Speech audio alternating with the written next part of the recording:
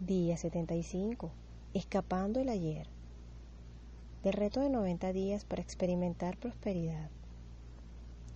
Quizá recuerdes la película de 1993, Groundhog Day, El Día de la Marmota. Es una comedia deliciosa acerca de un odioso meteorólogo, el cual es asignado para cubrir la celebración del Día de la Marmota en Punxsutawney, Pensilvania. Después de reportar que la marmota salió de su guarida, el meteorólogo Phil Connors representado por el actor Bill Murray, no solo se encuentra atrapado en Punxsutawney debido a una nevada que no predijo correctamente, sino que también se encuentra atrapado en el mismo día una y otra vez, teniendo que despertar a lo mismo cada mañana y siendo forzado a revivirlo día a día.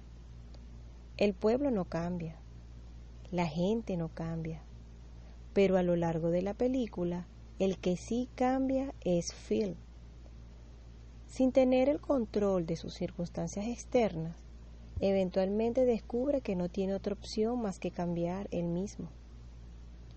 Aclamada como una de las películas más espirituales de todos los tiempos, El Día de la Marmota presenta una reflexión cómica de la manera en que los humanos frecuentemente nos atoramos en nuestro propio circuito de vida repitiendo las mismas acciones y comportamientos día tras día. Llena de grandes lecciones espirituales y filosóficas, el Día de la Marmota brillantemente dramatiza cómo el cambio real viene de adentro.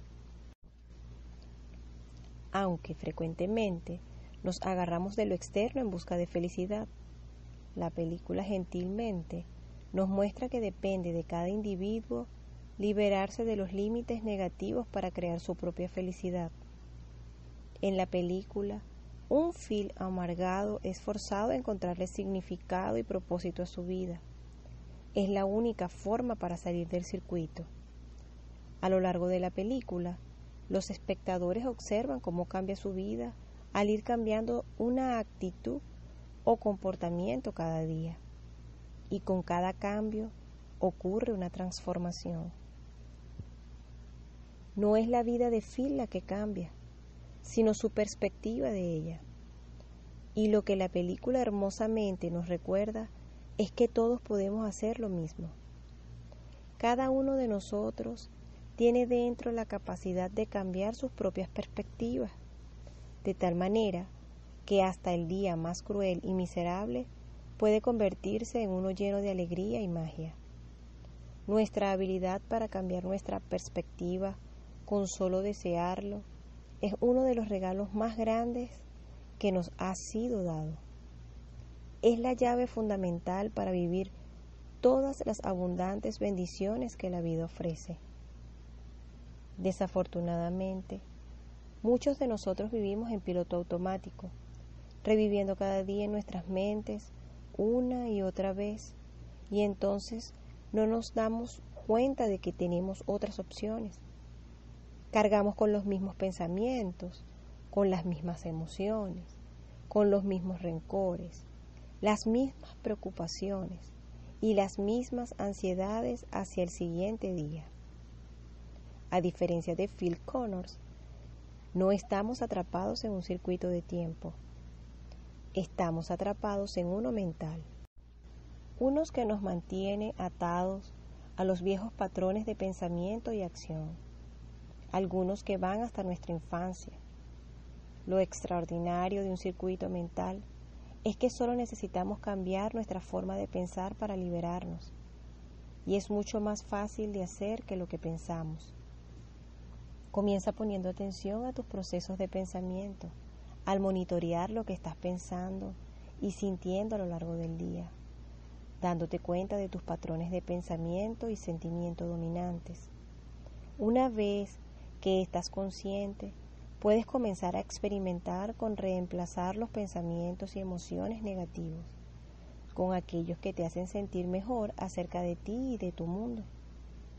Y una vez que cambias tu manera de pensar y de sentir, verás el mundo totalmente diferente. El mundo no cambiará, pero tú sí. Y eso es lo que importa. Phil Connors descubre que cada día nos da la oportunidad de probar nuevos comportamientos y de entonces medir los resultados y evaluarlos. Nosotros quizá nos regresamos al mismo día una y otra vez, igual que Phil.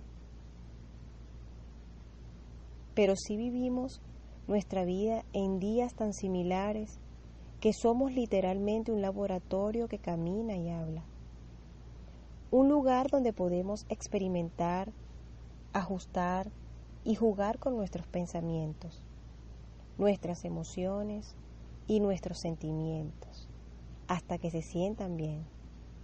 Y al hacerlo, los cambios que nos llevan a una vida próspera y feliz los hacemos sin esfuerzo.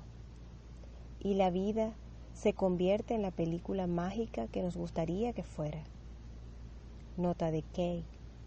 Si tienes la oportunidad, te pido que rentes, pidas prestada o compres y veas la película El Día de la Marmota.